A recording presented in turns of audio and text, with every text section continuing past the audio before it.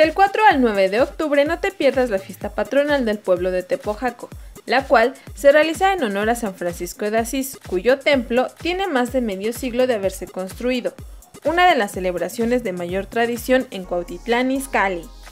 4 de octubre empieza con el, con el despertar del pueblo a las 4 y media de la mañana. Las mañanitas se dan a las 5, 5 y media de la mañana y después de las mañanitas se ofrece una misa solemne en donde toda la población por, la, por lo general acude para hacer presente y hacerle algún presente a, nuestro santo.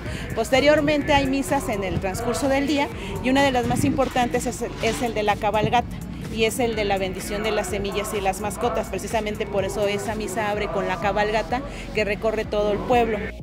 A lo largo de estos seis días podrás disfrutar de eventos como una cabalgata, el tradicional palo encebado, quema de castillos, juegos mecánicos, una gran variedad de comida de la región, así como la presentación de grupos como la banda Hermanos Galván, Cristal Show y Grupo Fiestas de México, entre otras sorpresas más. Pues la verdad es que nosotros lo recibimos con los brazos abiertos. Tepojaco es uno de los 13 pueblos más importantes del municipio de Cotlán. Aquí es en donde se realiza la fiesta más grande del municipio.